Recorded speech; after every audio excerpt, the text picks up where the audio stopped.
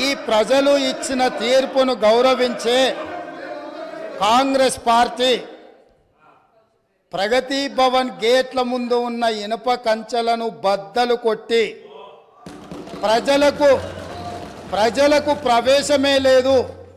తెలంగాణ ప్రజల యొక్క చెమట వాసన మేము చూడము.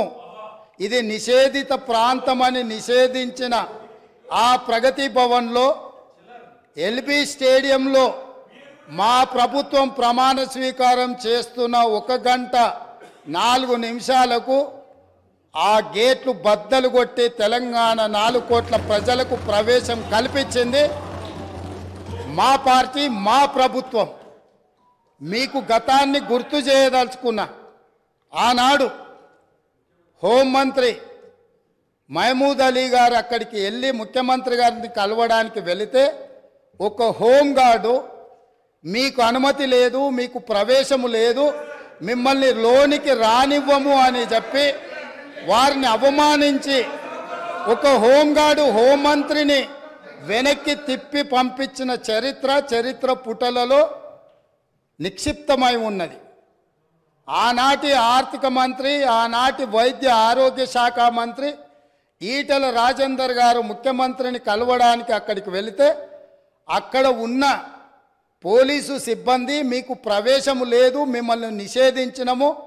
మీకు అర్హత లేదు మీకు ఆ స్థాయి లేదు అని చెప్పి ఈటల రాజేందర్ గారిని ఆ ప్రగతి భవన్లకు ప్రవేశం లేదని తన సహచర మంత్రిని అవమానించి ఆ మంత్రే స్వయంగా కన్నీళ్ళు పెట్టి ఈ ఆవేదనను ఈ దుఃఖాన్ని లోపల అదిమి పెట్టుకున్న విషయాన్ని నాలుగు కోట్ల తెలంగాణ ప్రజలకు వివరించినప్పుడు తెలంగాణ సమాజమంతా తెలంగాణ సమాజమంతా దీన్ని గమనించింది.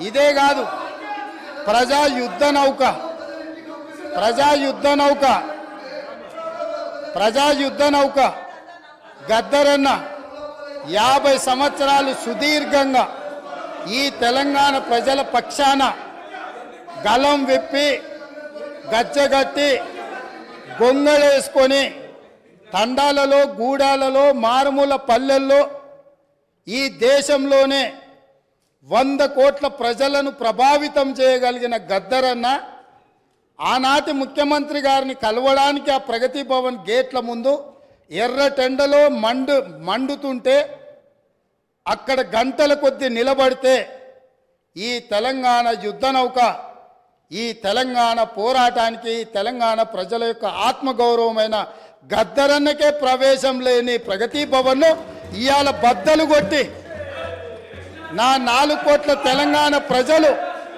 ఎప్పుడు కావాలన్నా ఎప్పుడు కావాలన్నా ఎక్కడికి వెళ్ళాలన్నా ఆ ప్రగతి భవన్లు గేట్లను ఇనుప కంచెల్ని బద్దలు కొట్టిన ప్రభుత్వం మా ప్రభుత్వం ప్రజలెన్నుకున్న ప్రభుత్వం ప్రజా ప్రభుత్వం కాబట్టి ఆనాడు ముఖ్యమంత్రిని కలవాలంటే మంత్రులకు ప్రవేశం లేదు. ముఖ్యమంత్రిని కలవాలంటే తెలంగాణను సాధించిన తెలంగాణ ఉద్యమానికి ఊపిరులూదిన గద్దరన్నకు ప్రవేశం లేదు. కానీ ఈనాడు దళితులు గిరిజనులు బలహీన వర్గాలు మైనారిటీలు మహిళలు ఎవరైనా అక్కడికి వెళ్ళి మా సమస్య ఉన్నది అని అంటే ఈ ప్రభుత్వం వినడానికి సిద్ధంగా ఉన్నది అని చెప్పి ఈ తెలంగాణ ప్రజలకు స్వేచ్ఛనిచ్చిన ప్రభుత్వం ప్రజా ప్రభుత్వం ప్రజలెన్నుకున్న ప్రభుత్వం ఈరోజు ఇక్కడ ఉన్నది. నిజంగానే ఈ ప్రభుత్వం నియంతృత్వ పోకడలతో పోవాలి అనుకుంటే నిర్బంధాలతో పరిపాలన సాగించాలి అని అనుకున్నుంటే ఇక్కడ అంతసేపు వాళ్ళు ఎవరు మాట్లాడినా సంవయనంతో ఇక్కడ వింటూ కూర్చుండే వాళ్ళం కాదు. ఆనాడు రెండు వేల పద్నాలుగు తెలంగాణ రాష్ట్రంలో తెలంగాణ ప్రభుత్వం ఏర్పడిన తర్వాత జరిగిన చర్చలలో మేమందరం సభ్యులుగా ఇక్కడ నిలబడి సమస్యల మీద మాట్లాడినప్పుడు మార్షల్స్ను పెట్టి గొర్రెలను ఈడ్చినట్టు ఈడ్చి బజార్లు పడేసి ప్రజాస్వామ్యాన్ని కూని ఇక్కడనే చేసిన వాళ్ళు ఇవాళ అక్కడ కూర్చున్నారు. వాళ్ళలాగా మేము కాదు. అధ్యక్ష. అధ్యక్ష. అధ్యక్ష ఇక్కడ చెప్పారు దయచేసి I'm not yielding sir I'm not yielding please sir చేయూత కింద చెప్పారు అధ్యక్ష. నాలుగు వేల రూపాయలు ఇస్తామన్నారు నెలకు. డిసెంబర్ తొమ్మిది నుంచే స్టార్ట్ చేస్తా అని రేవంత్ రెడ్డి గారు స్వయంగా చెప్పినారు. నేను వారిని ఇంకా రేవంత్ రెడ్డి గారే అంటున్నాను. కల్వకుంట్ల చంద్రశేఖర్ రావు అనే ఏకవచనంతో ఆయన మాట్లాడినా నేను రేవంత్ రెడ్డి గారని అంటే అధ్యక్ష. ఎందుకంటే మాకు ఆ ఇంగితం ఉంది ఆ సంస్కారం ఉంది. ఎందుకంటే ముఖ్యమంత్రి అనే పదవి వ్యక్తిది కాదు అధ్యక్ష. నేను అందుకే అంటా ఉన్నా అధ్యక్ష. సంస్కారం అనేది రావాలి అధ్యక్ష. స్వతహాగా నేర్పితే రాదు. అధ్యక్ష ఇంకో మాట చెప్తా ఉన్నా అధ్యక్ష. రెండు గ్యారంటీలు రెండు గ్యారంటీలు. పది లక్షల ఆరోగ్యశ్రీ. ఇక్కడ హరీష్ రావు గారు ఉన్నారు అధ్యక్ష. హరీష్ రావు గారు వైద్య ఆరోగ్య శాఖ మంత్రిగా ఉన్నప్పుడే పది లక్షల ఆరోగ్యశ్రీ మేము అమలు చేసి సంవత్సరం దాటిపోయింది సార్. అది వారికి తెలియదు. తెలియదన్న విషయం తెలియదు తెలుసుకునే ప్రయత్నం చేయరు అవగాహన లేదు అనుభవం లేదు. ఇక నడుస్తూ ఉంది అధ్యక్ష. ఢిల్లీ నుంచి నామినేట్ అయి వస్తే గట్లే ఉంటుంది అధ్యక్ష. అధ్యక్ష రెండు గ్యారంటీలు అమలు చేసినాం అనేది అచ్చు తప్పు. రెండు గ్యారంటీల్లో మీరు అమలు చేసింది పావలా వంతు కూడా కాదు. ఇది ప్రజలను మభ్యపెట్టడమే బుకాయించడమే తప్ప ఇంకోటి కాదు. ప్రజావాణి ప్రారంభించడం. ప్రజావాణి కొత్తగా ప్రారంభించేది ఏంటి అధ్యక్ష?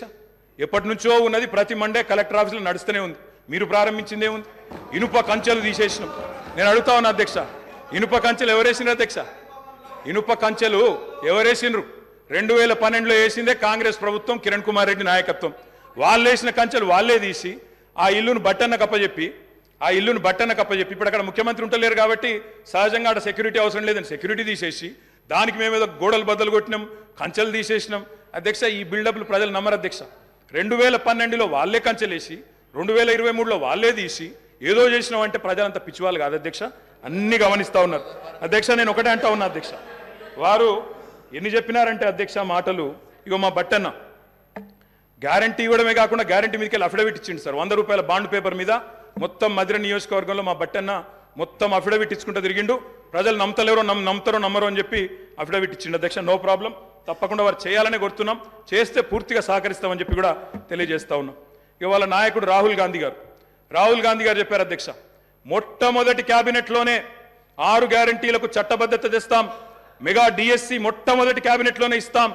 ఆరు నెలల్లో డిఎస్సి పూర్తి చేస్తాం రిక్రూట్మెంట్ చేస్తాం. మొట్టమొదటి క్యాబినెట్. ఇప్పుడు మూడు క్యాబినెట్లు అయినట్టున్నాయి అధ్యక్ష. మరి మొదటి క్యాబినెట్ ఎడవైందో ఆరు గ్యారంటీలకు చట్టబద్ధత ఎడవైందో చెప్పాలి అధ్యక్ష. అధ్యక్ష రాహుల్ గాంధీ గారు చెప్పారు ఆదిలాబాద్లో. ఏం చెప్పారు అధ్యక్ష? ఇరవై నాలుగు గంటల్లోనే ఇది నేను చెప్తలేను అధ్యక్ష హిందుస్థాన్ టైమ్స్ రాసింది. ఇరవై నాలుగు గంటల్లోనే రెండు లక్షల రూపాయల రుణమాఫీ చేస్తాం రైతులకు. ఇది రాహుల్ గాంధీ గారు చెప్పిన మాట. నిలబెట్టాలని చెప్పి నేను కోరుతా ఉన్నా. ఇరవై నాలుగు గంటలు కాకపోయినా ఇరవై నాలుగు రోజుల్లోనైనా నిలబెట్టండి అని చెప్పి నేను కోరుతా ఉన్నా. అధ్యక్ష వారు చెప్పినారు కౌలు రైతులకు బీమా రుణాలు. కౌలు రైతులకు బీమా కౌలు రైతులు ఎదురు చూస్తున్నారు రాష్ట్రంలో. మరి రుణాలు ఇవ్వమని కొడతా ఉన్నారు. అధ్యక్ష ఇది రేవంత్ రెడ్డి గారు చెప్పారు. కేసీఆర్ ఉంటే ఐదు వేలు వస్తాయి కేసీఆర్ ఓడిపోతే పదిహేను వేలు వస్తాయని చెప్పి డిసెంబర్ తొమ్మిది నాడు స్వయంగా రేవంత్ రెడ్డి గారు చెప్పారు. ముఖ్యమంత్రి పదవిలో కూర్చున్నారు.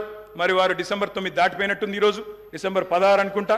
పదిహేను వేలు ఎడబోయినాయని చెప్పి రైతులు అడుగుతా ఉన్నారు రేవంత్ రెడ్డి గారు. మీరు సమాధానం చెప్పేటప్పుడు చెప్పాలని కోరుతా ఉన్నాం. అధ్యక్ష వారు చెప్పారు బీసీలకు లక్ష కోట్లు. బీసీలకు సబ్ ప్లాన్ తెస్తాం. బీసీలకు ఎంబీసీ మంత్రిత్వ శాఖ తెస్తాం. బీసీలకు మేము బ్రహ్మాండంగా లక్ష కోట్లు కేటాయిస్తాం సబ్ ప్లాన్ తెస్తామన్నారు. నిలబెట్టుకోండి. వెల్కమ్ చెప్తాం. తప్పకుండా స్వాగతిస్తాం. మోస్ట్ బ్యాక్వర్డ్ క్లాసెస్కి స్పెషల్ మినిస్ట్రీ పెడతామన్నారు. అధ్యక్ష బీసీ డిక్లరేషన్లో మోస్ట్ బ్యాక్వర్డ్ క్లాసెస్కి స్పెషల్ మినిస్ట్రీ అన్నారు. ఇప్పటిదాకా కదలికున్నట్టు లేదు. వారికి నేను గుర్తు చేస్తా ఉన్నా రాష్ట్రంలోని బలహీన వర్గాలు చూస్తా ఉన్నారు. సమాధానం చెప్పేటప్పుడు చెప్పాలని చెప్పి కూడా నేను కోరుతా ఉన్నా. మైనారిటీలకు సప్లాన్. మైనారిటీ సప్లాన్ అన్నారు. బడ్జెట్ సెషన్లోనన్న తెండి తప్పకుండా మైనారిటీలకు బీసీలకు సప్లాన్ తేవాలా? తేకపోతే తప్పకుండా ప్రధాన ప్రతిపక్షంగా మైనారిటీల తరపున బీసీల తరపున గొంతు విప్పుతామని చెప్పి కూడా నేను తెలియజేస్తా ఉన్నా. అధ్యక్ష ఆటో డ్రైవర్లకు నెలకు పన్నెండు వందలు ఇస్తాం. బోర్డు పెడతామని చెప్పి రాహుల్ గాంధీ గారు చెప్పారు. తప్పకుండా నిలబెట్టాల? ఏడు లక్షల మంది ఆటో డ్రైవర్లకు ఇస్తామన్నారు. నిలబెట్టుకోవాలని చెప్పి నేను కోరుతా ఉన్నా. రాష్ట్రంలోని తమ్ముళ్ళు ఎదురు చూస్తూ ఉన్నారు. మొదటి క్యాబినెట్లో మెగా డిఎస్సి అన్నారు. అతి లేదు గతి లేదు. అదేవిధంగా జాబ్ క్యాలెండర్ అన్నారు. టీఎస్పీఎస్సీ ప్రక్షాళన అన్నారు. మరి దాని మీద కూడా తప్పకుండా చెప్పాలా?